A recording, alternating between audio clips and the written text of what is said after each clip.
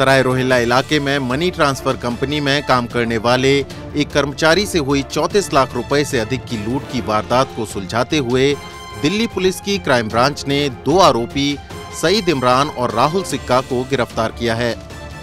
Police ने इनके कब्जे से लूटी गई रकम में से सात लाख रुपए सहित वारदात में इस्तेमाल स्कूटी बरामद कर ली है। सईद इमरान अपने बिज़नेस में हो रहे घाटे और लोगों से लिए कर्जे को लेकर परेशान था। इमरान ने अपनी परेशानी अपने दोस्त आमिर से शेयर की।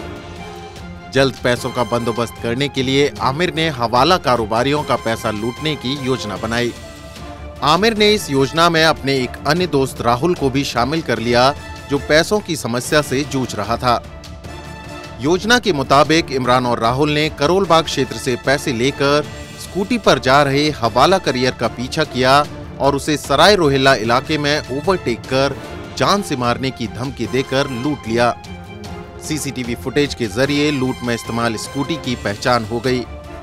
बाद में टेक्निकल इंटेलिजेंस के ज़रिए सूचना हाथ लगी कि वारदात को अंजाम देने वाले आरोपी सईद इमरान और राहुल सिक्का उत्तराखंड में मौज मस्ती कर रहे हैं। इस आधार पर पुलिस ने इनकी लोकेशन को ट्रैक कर वहाँ दबिश दी और इन्हें धर दबोचा। बाद में वारदात में शामिल अन्य आरोपियों को भी गिरफ़्तार कर लिया गया।